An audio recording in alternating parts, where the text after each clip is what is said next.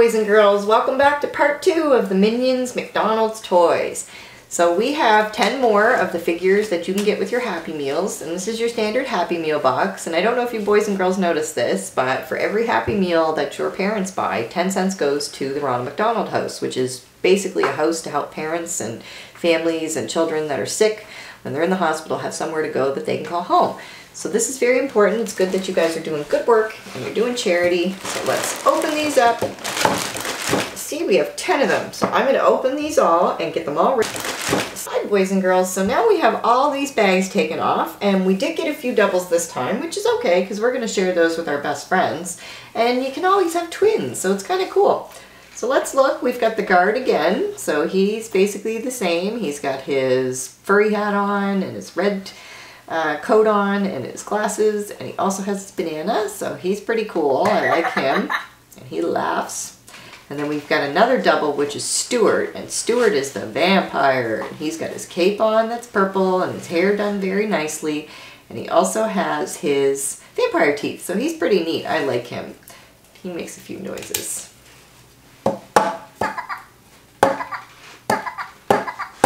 well this guy just wants to laugh. So I guess he's just laughing. He doesn't want to do anything else but laugh. But that's kind of funny.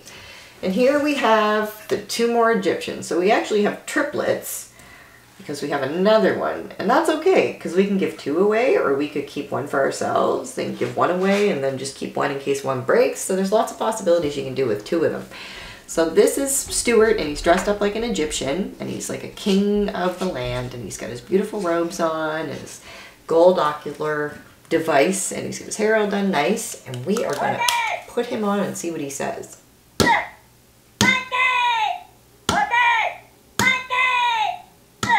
Oh, so he's basically shouting commands because he's a king.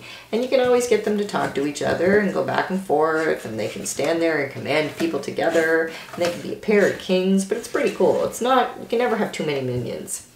So here we have the same situation. We've got a dancing Stuart and a dancing Stuart. But this is pretty cool because with the dancing ones, they both have little guitars and they have themselves dressed up like their normal, normal Stuart, so they're not in a costume. And we can actually turn them on and see if we can get them to sing together. So let's see.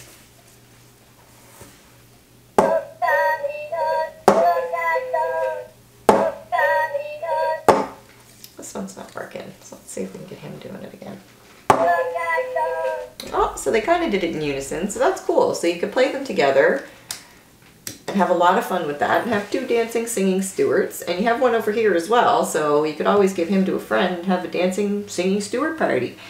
So this guy here is Stuart again, but he's dressed up like the Ice Cave Discovery Man. So he's got his fur coat on and his mittens and he's dressed up basically for like the North Pole and the Arctic and stuff like that. And his goggles are gold to match his outfit, and he looks pretty happy. He doesn't look like he's very cold, but he goes out and discovers things into the ice and the snow and the cold. So it sounds like he might might have fallen somewhere. He's also found something, and then he's just giggling. So that's pretty cool. He does three different uh, noises. So that's neat. And then we get another double of the Kung Fu Bob, which is okay because Bob is pretty funny and we like him. He's got a good sense of humor. So he's dressed up in his martial arts robe and his little wooden uh, slippers and he's taking his karate stance. So we're going to turn him on and see what he says.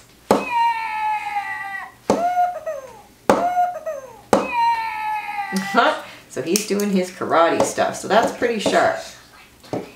All right, and next we're going to look at the Jurassic Stuart. And he's from back in like the woods and the jungle and back when there was prehistoric creatures. So he's got his grass skirt on and his optical is made out of glass, out of grass as well. So it's pretty cool. So let's see what he says. Oh. That's pretty cool. So he's doing a lot of stuff. So he's basically telling everybody in the forest what, or into the jungle what he's doing. So let's put him back here and we're gonna bring out Kevin. And we have another Kevin, but that's okay because Kevin's just fine. He's lots of fun and he's just his regular old self and he's proud of himself and that's what we all should be.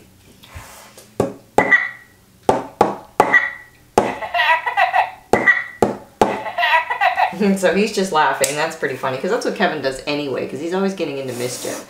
So we ended up getting 10 more minions. So that's 20 minions we have now.